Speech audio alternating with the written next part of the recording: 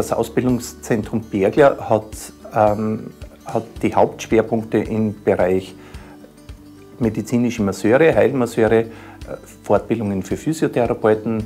Das ist die erste Schiene. Die zweite Schiene ist ähm, alles, was mit Pflegeberufen zu tun hat, äh, Pflegeassistenz, medizinische ähm, äh, Berufe für Assistenz.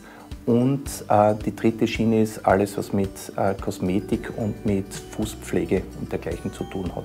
Das heißt, wir, wir versuchen, ähm, möglichst viele staatliche Ausbildungen mit einzubringen. Das heißt, dass der Schüler immer irgendwo eine Basis hat, die staatlich anerkannt ist. Die Zielgruppe ist ähm, von 17 Jahren äh, bis 55 Jahre, von Hausmann, Hausfrau bis zum Akademiker.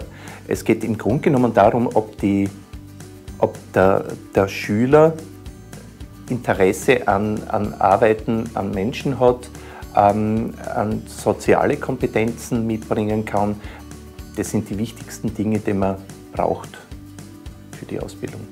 Die Schüler müssen ähm, mindestens 17 Jahre alt sein, äh, in, weil wir spezialisiert sind auf staatliche Ausbildungen und bei staatlichen Ausbildungen äh, ist es notwendig, dass man vom Gesetz her 17 Jahre alt ist und daraufhin kommt es nur darauf an, ob man sich vorstellen kann, dass man im Bereich Menschenarbeit, Zusammenarbeit und dergleichen eine Freude daran hat. Wir bieten grundsätzlich Ausbildungen an, die von einem Tag bis zu zwei Jahren stattfinden.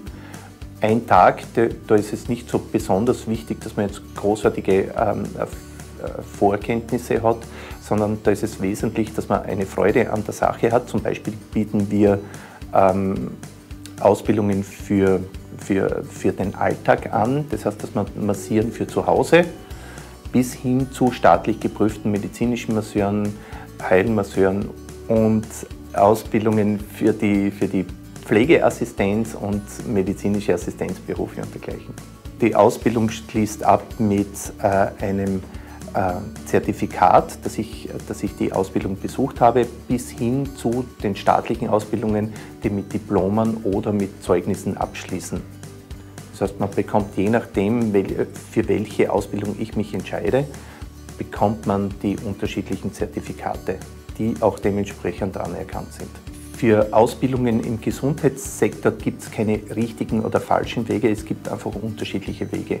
Ähm, sehr, sehr oft werden entweder Wege bestritten, die, ähm, die eher mehr, mehr sehr oder sehr, sehr in das Schulmedizinische hineingehen oder auf der anderen Seite genau das Gegenteil, die sehr, sehr in das Esoterische hineingeht. Und uns ist es wichtig, dass wir beide Sachen verbinden. Das heißt, wir haben auf der einen Seite staatliche Ausbildungen, äh, die, die dementsprechend auch international, soweit dies möglich ist, anerkannt werden, ähm, die sehr, sehr schulmedizinisch aufgebaut sind. Und auf der anderen Seite ist es uns auch wichtig, dass wir ähm, die, die, äh, auch die Intuition und, und äh, das, das Spüren und das Fühlen mitbringen. Man kann das ähnlich vergleichen äh, mit dem Erlernen eines Instruments. Man lernt zuerst lernt man einmal Noten und, und äh, die Tonleiter. Das ist zwar mühsam, aber hinterher, hinterher kann ich dann zum Improvisieren anfangen. Und genau das wollen wir hinüberbringen. Wir wollen zuerst haben, dass die Leute lernen, wie man spielt, wie man ein Instrument spielt, wie man mit den Menschen arbeitet und hinterher kann man dann intuitiv zum Arbeiten anfangen.